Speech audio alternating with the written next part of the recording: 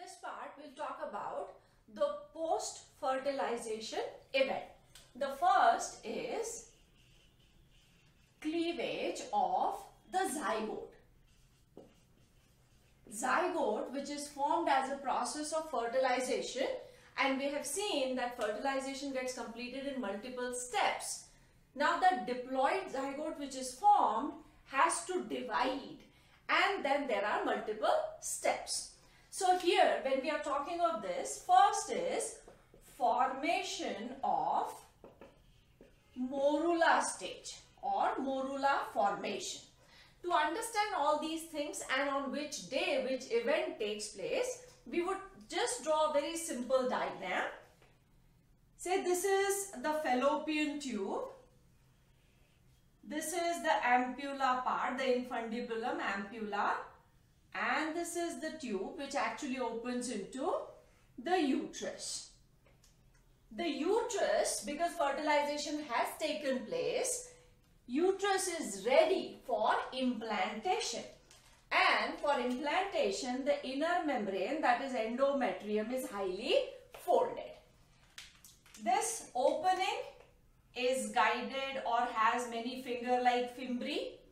Here is the ovary so from the ovary, egg was re released. The egg was received by these fimbriae. Egg came into this structure, into that opening. And in this ampulla region, the sperms reached up to the egg. They surrounded the egg and fertilization has taken place. That means this stage which we are drawing we will write it as A. This is the zygote. So I'm going to draw that A separately here. A is the zygote. Zygote has diploid nucleus 2N. In case of human beings, 23 chromosomes from sperm and 23 chromosomes from the egg. Outside the egg, the membranes which are there. There is vitelline membrane. Then there is zona pellucida. This zona pellucida is also intact. And around zona pellucida there are cells, follicular cells which make corona radiata. That means zygote has all these layers around. After zygote formation, the zygote is now going to move towards the uterus. When it moves, it starts to divide. So after this, the first division is going to take place. So here we are going to see two-celled stage and this is B. In this, uh, or rather let us say that from A to B, it normally takes 24 hours. After fertilization has taken place, after that event is complete, that means zygote is formed. After zygote formation, after 24 hours, first zygotic division takes place. So if we have to draw the next stage, the first division which takes place, this is the egg or rather this is the zygote and now it has divided like this. The division is through animal and vegetal pole. This was the animal pole where the nucleus of the egg was. The entry of sperm also takes place from the animal pole and the first zygotic division is also through animal and vegetal pole. The membranes are intact around it. That means we can simply write, draw those partial lines here. The vitelline membrane, zona pellucida and corona radiata. All these layers are as it is. Two cells are formed and as you can see that these two cells are unequal in size. So the division which takes place formation of two cells. These are called blastomeres. So two blastomeres are formed. Division is unequal. First division is unequal. It results into formation of one larger blastomere and one smaller blastomere. The plane is animal vegetal pole. And here we will write one more very important word that the division in case of human beings is indeterminate. Indeterminate. Indeterminate means the fate of these cells is not decided yet. This means that each cell is capable of giving rise to a complete individual or organism. So, that is known as indeterminate. In lower organisms, the division is determinate. That means if there are four cells, the fate of every cell is decided. That this cell will give rise to nervous system, this cell will give rise to epidermis or whatever. Here, it is indeterminate. And this is a characteristic feature of deuterostomes. Characteristic feature of deuterostomes. Deuterostomes include chordates and echinoderms. So they have this type of division. So what do we know about the first division? It takes place after 24 hours of fertilization. In some books, the time period is given as 24 hours to 30 hours. But normally 24 hours is considered as the time after which the division takes place. Division is unequal. It results into formation of two blastomeres, one larger, one smaller. The plane is through animal vegetal pole and it is indeterminate. That means the fate of these cells which are formed is not decided yet. Each cell is capable of giving rise to a complete individual. One more sorry term which we talk about whenever we talk of this division. This division which has resulted into formation of two cells is holoblastic. That means the complete cytoplasm has participated in this division. Here, I'll take you back to those types of eggs. We talked about microlecithal egg where there is very less yolk content in the cytoplasm and it is evenly distributed.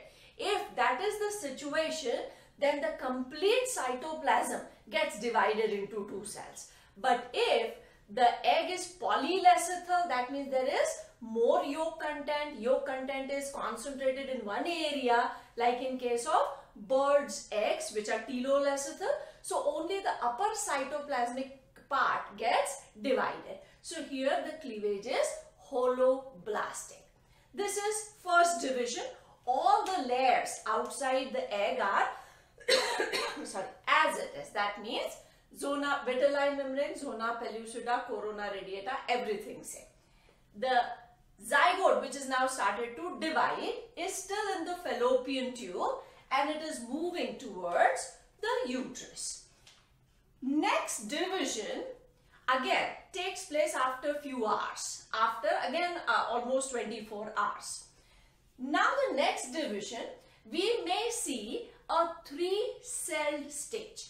These two cells are going to divide again. First division was through animal vegetal pole. The second division is going to be at right angles to the first one. But the larger cell will divide first and then the smaller cell. So if the larger cell divides first, we would see a short-lived three-cell stage. So here this is our larger cell and larger cell has divided into two. This is the smaller cell. All membranes are as it is outside. So this is a three cell stage and immediately this three cell stage will change into four because now this will also divide. So after this we would see a four-celled stage. So this was our first larger blastomere. It divided into two and now the smaller one also divides into two. So here we are going to see this four cell stage. This is our C diagram. This is C. All membranes which are outside are intact. That means same. Vitelline membrane, zona pellucida and outside this is corona radiata. All membranes same. After this the divisions are going to continue. Now in the next stage these 4 cells will become 8, 8 will become 16 and by the time it becomes 16 or 32 cell structure it reaches up to the uterus. So let me draw one, sorry, let me use the same color. And here we are drawing this cell and this is like a mass of cell. This is D. Here we have all these cells. This is E. So I'm straight away drawing this E after this. E has cells, many cells and the number is normally 16. It can be 32 also. So this is a 16 or let me write it like this 16 or 32 cell structure and this is like a solid ball of cells. This is known as morula. So our first step was morula formation. Let me just bring it to the size. The membrane, same membranes. Now if you actually see all these stages, you would realize that this size is pretty much same. But the cell size is becoming smaller and smaller.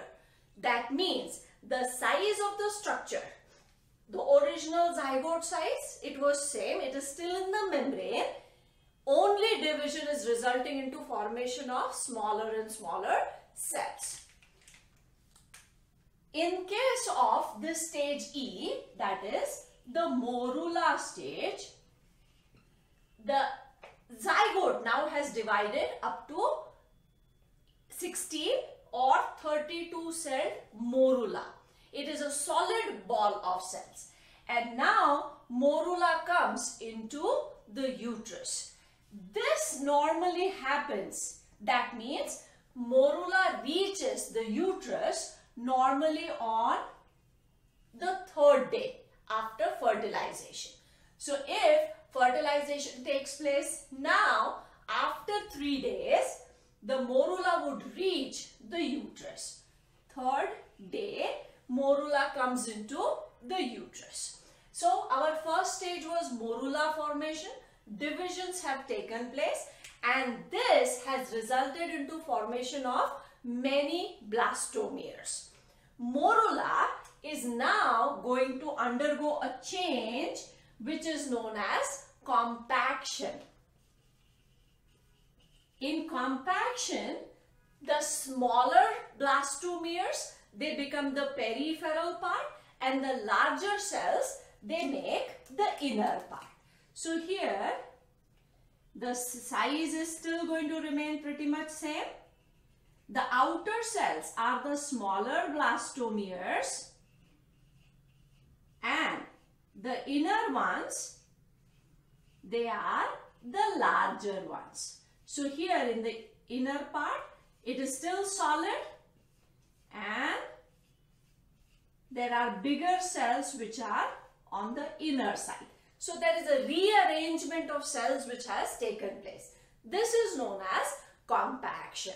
So this morula which has and I'm just drawing it slightly bigger so that we see all these cells otherwise it is the same size and these bigger cells. This morula has reached the uterus. This folded layer which we are seeing here is the endometrium. Endometrium is highly folded, glandular and vascular.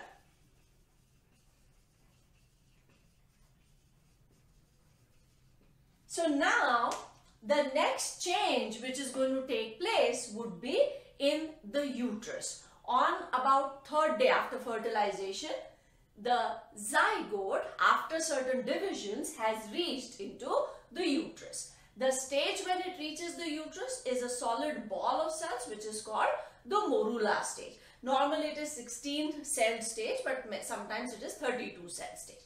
After this, it is going to change into blastula. So the next change is blastula formation or blastocyst formation and then it would get implanted into the uterine lining. That we will take up